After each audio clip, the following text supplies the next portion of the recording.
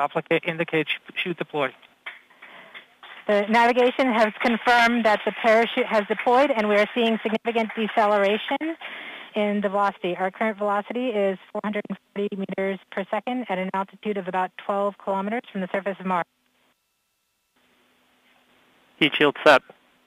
Perseverance is now slowed to subsonic speeds and the heat shield has been separated. This allows both the radar and the cameras to get their first look at the surface. Current velocity is 145 meters per second at an altitude of about 10 kilom- 9.5 kilometers above the surface.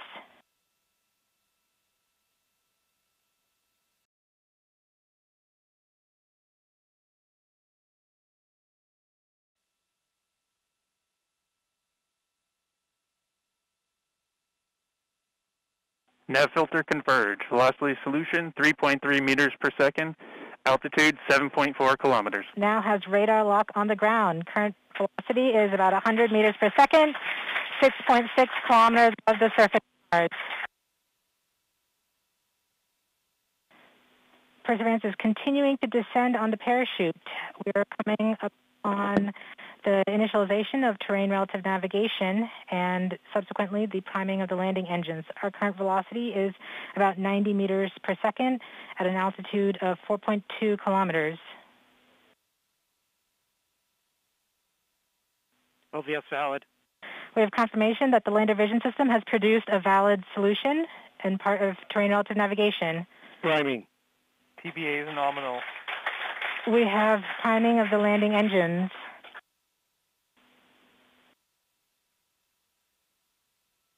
Back shell set. Current velocity is 83 meters per second at about 2.6 kilometers from the surface of Mars. We have confirmation that the back shell has separated. We are currently performing the divert maneuver. Current velocity is about 75 meters per second at an altitude of about a kilometer off the surface of Mars. TRN Safety Bravo.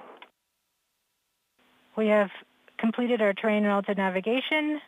Current speed is about 30 meters per second, altitude of about 300 meters off the surface of Mars.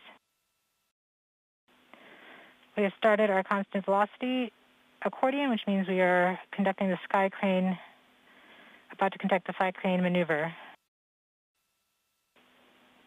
Sky crane maneuver has started,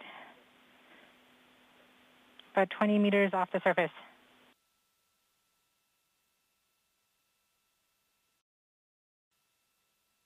We're getting signals from MRO. Tango Delta. Touchdown confirmed. Perseverance safely on the surface of Mars, ready to begin seeking the sands of past life.